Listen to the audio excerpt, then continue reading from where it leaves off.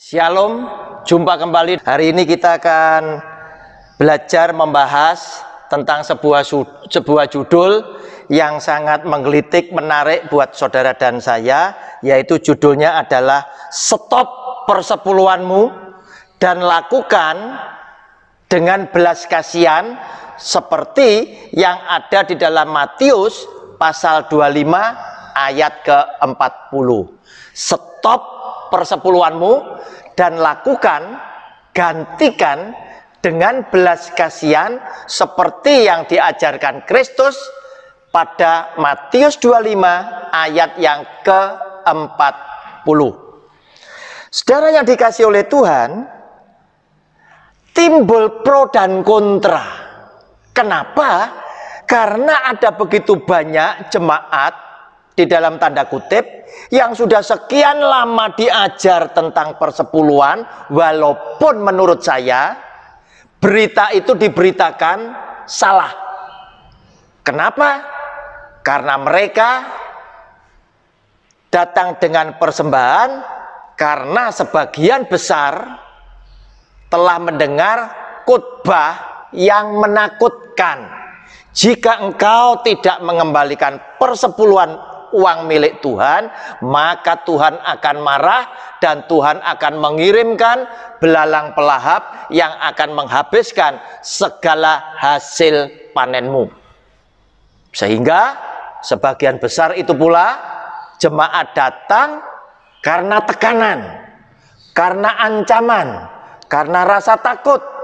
Hidupnya tidak diberkati, padahal setiap orang hidup butuh berkat untuk menjalankan kehidupan ini. Oleh karena itu, demi berkat itu tadi, banyak jemaat datang tanpa pernah dipedulikan berita ini benar atau berita ini salah. Namun, hari ini justru Tuhan Yesus mengajarkan buat saudara dan saya, stop persepuluhanmu, tapi bukan berarti tidak datang dengan persembahan. Tetapi datang dengan persembahan sebagai ungkapan syukur terima kasih kepada Kristus lewat hati yang penuh belas kasihan karena aku sudah dibelas kasihani oleh Tuhan. Sekarang aku mau menjadi orang yang penuh dengan belas kasihan demi melihat sesamaku yang menghadapi kesulitan yang dikatakan oleh Kristus sesamaku yang paling hina ini maka apa yang aku lakukan sama dengan aku sudah melakukan untuk Kristus. Saudara, saya justru mengajak kepada saudara untuk membaca Matius 25 mulai ayat 41 sampai dengan 46. Kita mau lihat kita mau lihat saudara apa akibatnya jika kita tidak melakukan Matius 25 ayatnya yang ke-40. Demikian bunyi firman Tuhan. Dan ia akan berkata juga kepada mereka yang di sebelah kirinya, Enyahlah dari hadapanku hai kamu orang-orang terkutuk, Enyahlah ke dalam api yang kekal yang telah sedia untuk iblis dan malaikat-malaikatnya Sebab ketika aku lapar, kamu tidak memberi aku makan. Ketika aku haus, kamu tidak memberi aku minum. Ketika aku seorang asing, kamu tidak memberi aku tumpangan. Ketika aku telanjang, kamu tidak memberi aku pakaian. Ketika aku sakit dan dalam penjara, kamu tidak melawat aku. Lalu mereka pun akan menjawab dia, katanya, Tuhan, Bila manakah kami melihat engkau lapar atau haus atau sebagai orang asing atau telanjang atau sakit atau dalam penjara dan kami tidak melayani engkau. Maka ia akan menjawab mereka, Aku berkata kepadamu, sesungguhnya segala sesuatu yang tidak kamu lakukan untuk salah seorang dari yang paling hina ini, kamu tidak melakukannya juga untuk aku hanya huruf besar. Ini adalah kebalikannya dari Matius 25 ayatnya yang ke-40. Ayat 46 dan mereka ini akan masuk ke tempat siksaan yang kekal tetapi orang benar ke dalam hidup yang kekal jadi Siapa orang benar itu yang masuk ke dalam hidup yang kekal adalah saudara dan saya yang dengan hati penuh belas kasihan datang dengan persembahan kepada Kristus untuk membagikan kita punya harta, untuk mengembalikan kita punya harta sebagai ungkapan syukur kepada Kristus dan dibagikan kepada orang-orang yang menghadapi kesulitan yang oleh Kristus dikatakan kepada salah seorang saudaraku yang paling hina ini kamu sudah melakukan untuk aku hanya huruf besar yaitu untuk Kristus saudara yang dikasih oleh Tuhan sehingga dengan demikian kita tahu bahwa yang benar adalah ketika saya datang dengan persembahan kepada Kristus dan persembahan ini saya bagi-bagikan kepada orang yang menghadapi kesulitan. Sekarang saya mau ajak kepada saudara mengkoreksi ayat persepuluhan yang lain. Bukan cuma Maliaki pasal 3 ayat 10. Seakan-akan Alkitab setebal ini ayat persepuluhannya cuma satu Padahal ada begitu banyak di dalam Alkitab kita yang setebal ini yang bicara tentang persepuluhan. Sekarang saya mau tunjukkan yang ditulis oleh Musa dengan dituntun oleh Tuhan sendiri karena Tuhan berkata dengan Musa, dengan Nabi Musa, aku berhadap-hadapan muka dengan dia dan aku berkata dengan terus terang sehingga Musa tidak harus mereka-reka. Oleh karena Musa diutus oleh Tuhan menulis secara langsung hukum Taurat salah satunya persepuluhan. Ulangan pasal 26 ayat 12 saudara kita lihat lebih dulu. Untuk siapa toh persepuluhan itu diberikan pada zaman kitab Taurat diberlakukan. Sedangkan Tuhan bicara dengan nabi yang lain tidak sama seperti dia bicara kepada Musa yang berhadapan muka secara langsung. Tetapi kalau Tuhan bicara dengan nabi yang lain, paling-paling lewat mimpi, lewat penglihatan. Sehingga nabi ini masih harus menafsirkan arti mimpi itu apa sehingga bisa salah tetapi dengan Musa dia berkata terus terang sehingga 100% pasti benar. Saudara demikian bunyi firmannya ulangan 26 ayat 12 judul bacaannya persembahan persepuluhan.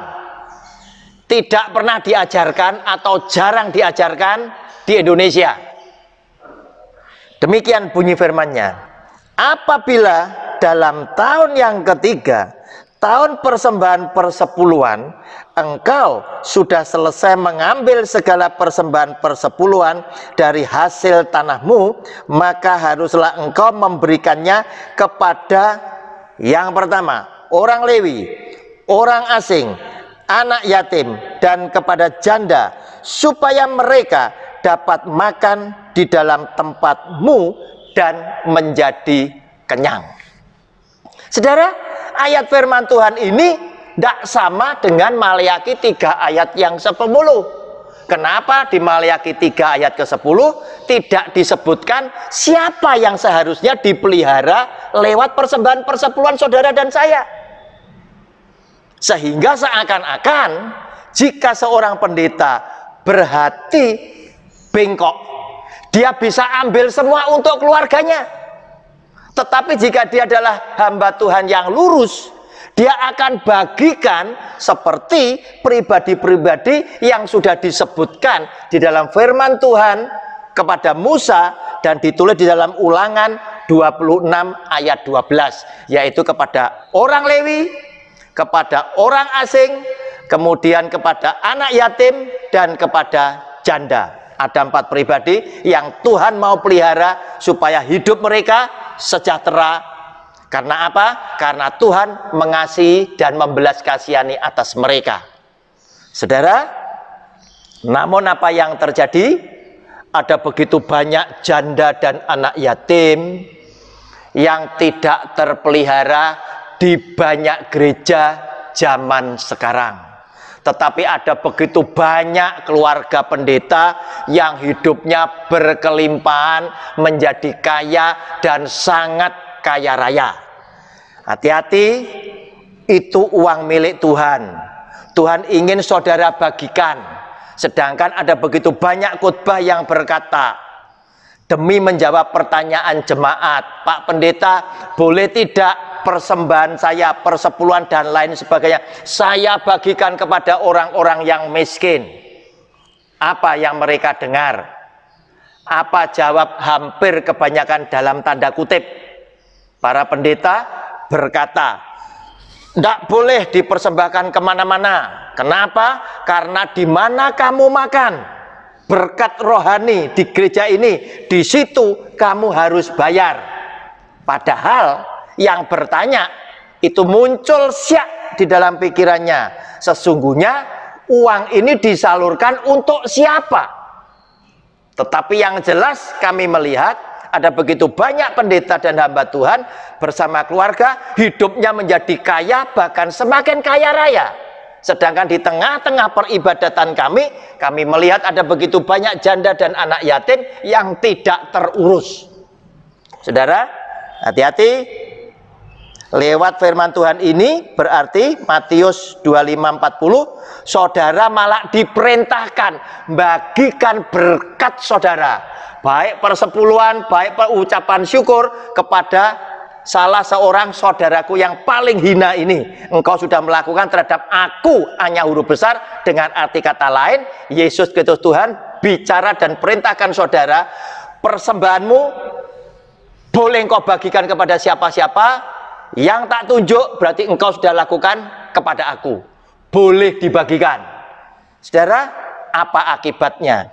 Bagi seorang pendeta, seorang gembala sidang, seorang hamba Tuhan yang terima persepuluhan hanya dinikmati dengan keluarganya tanpa memperhatikan orang asing, janda dan anak yatim. Saudara, tadi kita buka ulangan pasal 26 sebagai penutup khotbah saya, sekarang kita buka ulangan 27. Masih dalam kaitannya hukum Taurat yang ditulis oleh Musa lewat tuntunan Tuhan sendiri. Pasti benar, tidak bisa salah. Kita buka ulangan pasal 27 ayat 19. Di ulangan 26 ayat 12 tadi Tuhan ingin pelihara orang Lewi orang asing, anak yatim, dan janda. Sekarang kita lihat apa akibatnya jika orang ini tidak engkau urus. Ulangan 27 ayat 19 demikian bunyi firmannya.